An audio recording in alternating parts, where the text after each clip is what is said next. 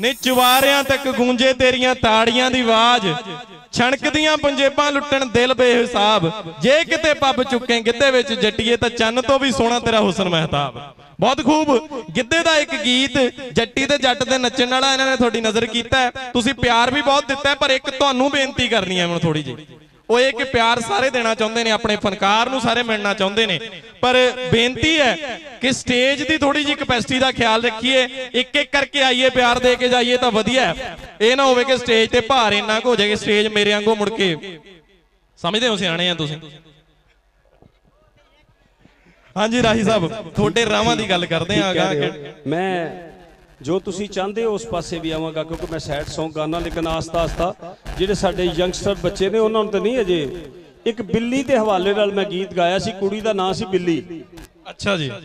ਇਹ ਜਨਮਨ ਵਕੂ ਹੈ। ਸ਼ਾਇਦ ਅੱਛਾ ਮੈਂ ਇੱਕ ਚੀਜ਼ ਹੋਰ ਦੇਖੀ ਹੈ ਕਿ ਬੇਸ਼ੁਮਾਰ ਗੀਤ ਇੱਧਰ ਮੇਰੇ ਹੀ ਪੁੱਠੇ ਸਿੱਧੇ ਕਰਕੇ ਗਾਏ ਗਏ ਲੇਕਿਨ ਚਲੋ ਮੇਰੇ ਭਰਾ ਨੇ ਲੱਖ ਵਾਰੀ ਗਾਣ ਲੇਕਿਨ ਗਾਏ ਮੇਰੇ ਸਨ ਇਹ ਮਕਬੂਲੀਅਤ ਹੁੰਦੀ ਹੈ ਜੀ। ਨਹੀਂ ਇਹ ਤੇ ਖੁਸ਼ ਨਸੀਬੀ ਹੈ ਮੈਂ ਖੁਸ਼ ਹਾਂ ਸਾਰੇ ਗਾਣ। ਹਾਂਜੀ। ਤੇ ਮੈਂ ਉਹ ਕੁੜੀ ਦਾ ਨਾਂ ਸੀ ਬਿੱਲੀ ਜਿਹੜੀ ਸਾਡੇ ਨਾਲ ਸ਼ੋਅ 'ਚ ਪਰਫਾਰਮ ਕਰਦੀ ਸੀ। ਉਹ ਕਹਿੰਦੀ ਸਾਰੇ ਜਹਾਨ ਦੇ ਨਾਂ ਤੇ ਤੁਸੀਂ ਗਾਣੇ ਬਣਾਏ ਨੇ ਰਾਈ ਸਾਹਿਬ। ਤੇ ਮੇਰੇ ਨਾਂ ਤੇ ਵੀ ਕੋਈ ਗਾਣਾ ਬਣਾਓ। ਉਸ ਬਿੱਲੀ ਦੇ ਨਾਂ ਤੇ ਬਣਾਇਆ ਹੋਇਆ ਗਾਣਾ।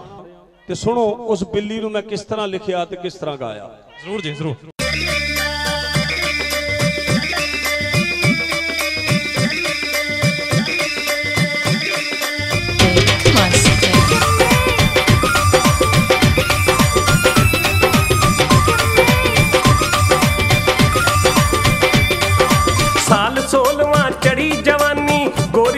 ਗੋਰੀ ਤੌਣ ਚ ਕਾਲੀ ਗਾਨੀ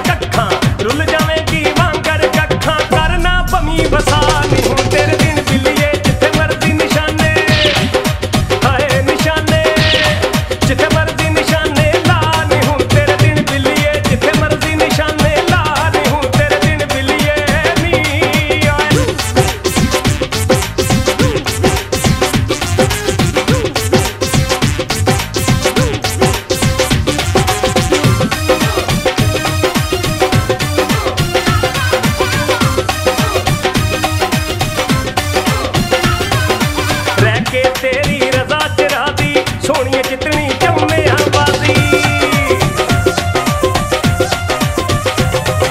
ਰਹਿ ਕੇ ਤੇਰੀ